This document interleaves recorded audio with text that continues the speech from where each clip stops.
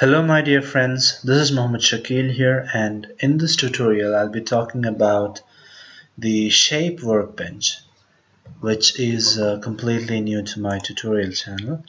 So this is what we are going to deal with. So I'm going to talk about the most important tool in this workbench that is the uh, freestyle and uh, the 3d curve is the tool that I'm talking about.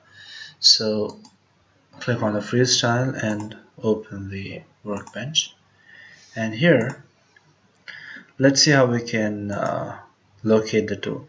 So it's in the insert curve creation 3d curve. So there are uh, some basic set of rules that you need to follow to uh, work with 3d curves. So 3d curve help you to uh, build outlines when you're uh, modeling uh, automobile or aircraft or anything so if you insert uh, the blueprint like the side views and front views etc it's very easy to create boundaries on that particular uh, uh, boundaries of the automobile or whatsoever. So let's firstly um, let me talk about the compass.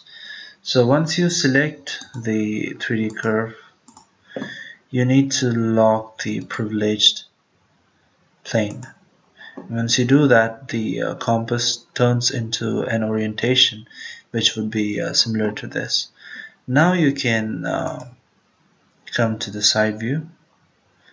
Uh, let me show you how this works out. And create a curve.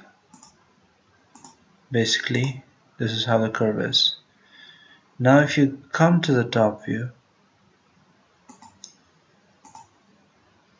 you can see it's a straight line but still you can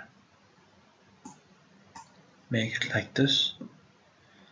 Now again if you come to the right view this is how it is. You can still adjust it. And this is the best part about a 3D curve.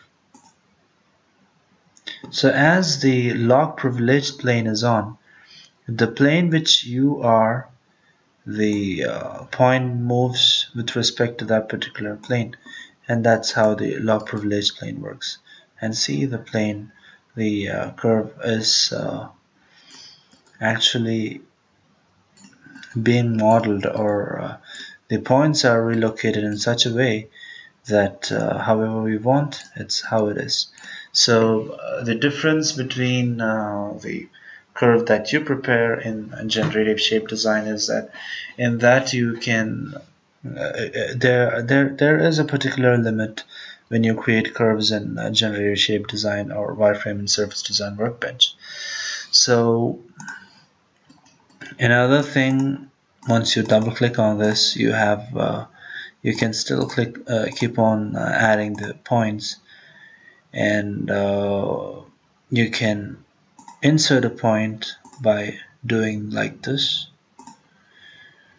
and you can even there are some impose tangency etc options which I will be talking uh, in detail when I uh, uh, when I keep going with the shape design workbench.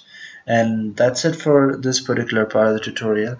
Just try to insert uh, or just try to insert some curve 3D curve and just try to pull pull and see how the point reacts to you and that's all for this particular part. I hope you're uh, enjoying my tutorial and uh, uh, thank you so much for watching and stay tuned